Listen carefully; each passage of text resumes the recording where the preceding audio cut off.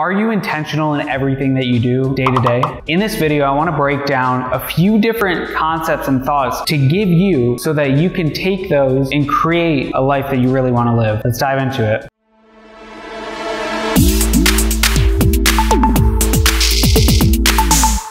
One of the most interesting things that I see people doing all the time is things that they hate. They simply do not either, one, recognize that they're doing things that they hate all day, or two, understanding the implications that doing something that you don't like, wearing something you don't like, eating something you don't like day to day actually has on your mentality, on your willpower, and on your mindset, and you know, overall on the quality of life that you actually have. How do you recognize then you are doing something that you hate? Well, number one, your mood's gonna drop every time you do it. For instance, I do this because I'm a human and it takes a while for me to realize things. I have this pair of shoes that I wear everywhere because they're better for my feet, but I really don't like the way they look or the way that I feel in those shoes. And I wear them almost every single day. How do you think that feedback system, okay, I put the shoes on. Now I feel bad the whole time that I'm walking in the shoes, or at least not as good at that as, as I could have, where I can just go and invest $100 into a nice pair of shoes, which then I feel really confident and a lot better day to day about myself. And this isn't to say that I think other people think that these shoes look weird. If I actually don't like the shoes and I know there's a better alternative that can last a lot longer, then it makes more sense to actually get the new shoes, even if it's spending money, in order to then have a better daily setup. So the first thing to do is to really break down methodically throughout your day. How do you do things? What do you do? Where's the majority of your time spent? Are you in a car driving to and from work and you fucking hate your commute? Because if that is happening,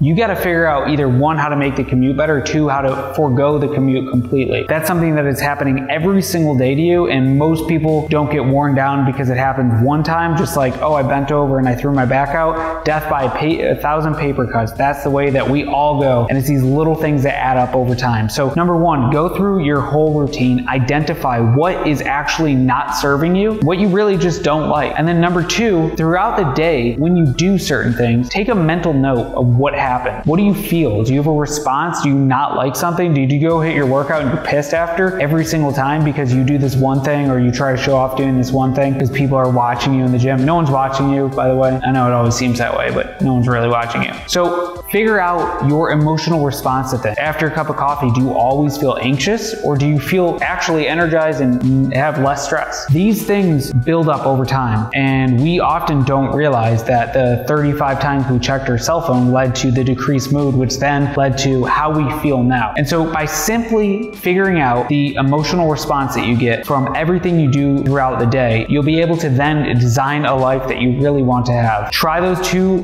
different exercises out and we will talk soon. Drop in the comments below whatever you find out about that. Otherwise, make sure to subscribe so you get notified when videos like this come out in the future.